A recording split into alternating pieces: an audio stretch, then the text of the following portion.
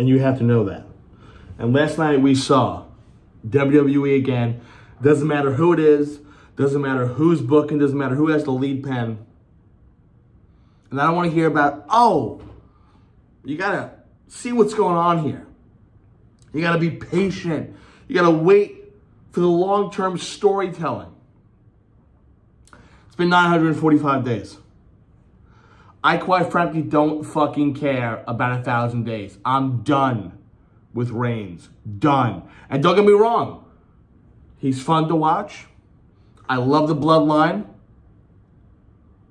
And I think he really has developed since the Shield days and since he first started to be a singles competitor after the big push, after the Shield broke up. I think he has taken leaps and bounds. But it's time for something else. I mean, for the love of God. And what they did last night, what Paul Levesque did last night was he sacrificed Cody Rhodes so Roman Reigns can get to a thousand days. And I'm sitting there and I'm watching WrestleMania last night with my brother. My brother goes, Cody's going to win. Like, why, why wouldn't Cody win? And I'm like, well, guarantee you, I could see Roman winning. Because they wanted to get the 1,000 days. And sure as shit, that's what happened. And my thing is this.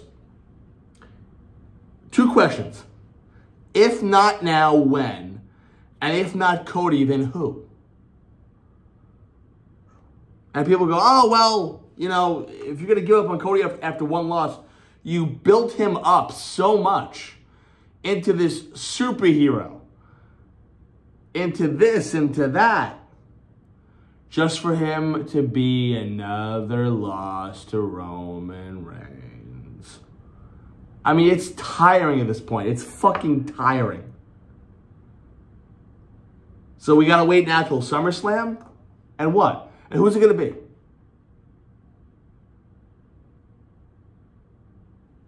Listen, Gunther, I would love to see Gunther dethrone him.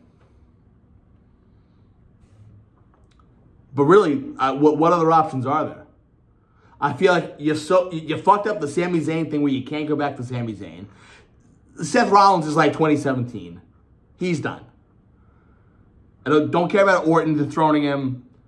I mean, again, if, if they build something up with Co, I mean, I would be interested in that. I, I just really, I, I'm done. I said to myself last night, I said, you know what? When someone tells me that Roman lost the title, then maybe I'll start watching the regular product again. I, it, it's, it's, I, I can't. I can't. It's just, it's so asinine. And also, let me say this. WrestleMania 1 um, on WrestleMania Night One, so much better. I mean, you know you kicked it out of the park when Bryan Alvarez, who is an AEW mark, is sitting there praising the freaking thing on Saturday night. That's when you know you did good. They had so much momentum going in. And then they just died like a dog on Sunday. Oh, God, uh, terrible show. Terrible. And Reigns and Rhodes was a great match. It was such a shit ending from a guy that they threw out. Come on. Come on.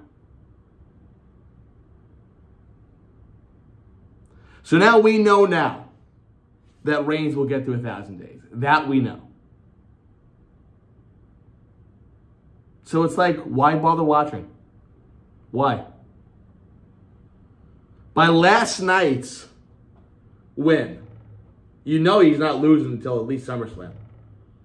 And please, for the love of God, I'm, I'm telling you right now, I will take everything WWE I have and I will freaking burn it in the streets. If we got to wait another year at WrestleMania 40, and they go, well, we're going to have The Rock dethrone him. I'm done. I'm done then. I'm absolutely done. We're going to have a guy who will be a year older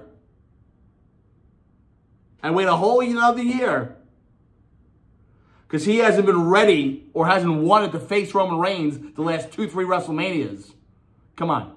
You can't do that to us. You can't do that to the fan base. Now, am I confident in Triple H? I don't know.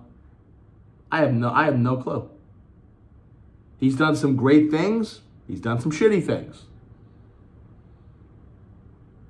What does the future hold for the company?